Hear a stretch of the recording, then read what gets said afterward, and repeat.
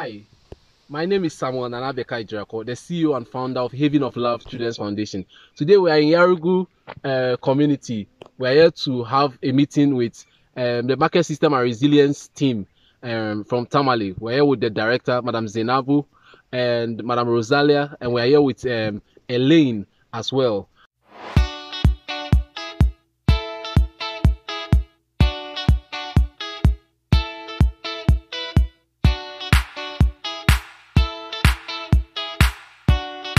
Um, we've had interactions with them. They've also come around to see our moringa farm, which is about a one and a half acre, how the, the crops are doing. And they've also encouraged us, the youth champions, as well as myself and the team, to keep up the good work we are doing because moringa is can be a foreign exchange, can also be uh, a source of uh, empowerment for the youth and for the young people in the northern part of Ghana who uh, usually migrate to the southern part to look for greener pasture.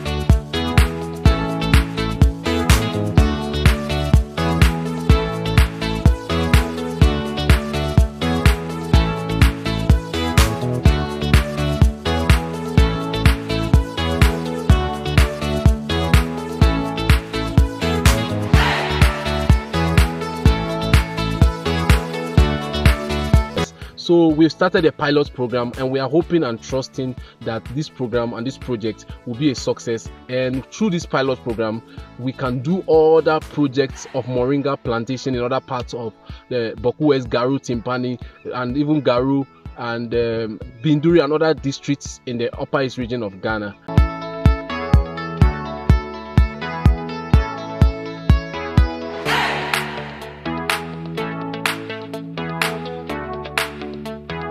We are counting on your support to come to our aid and partnership so that we can do much more to touch more lives, to empower the young ones, and to halt uh, migration from uh, rural urban migration from the northern part of Ghana to the southern part of Ghana. And we believe with your support we can do it.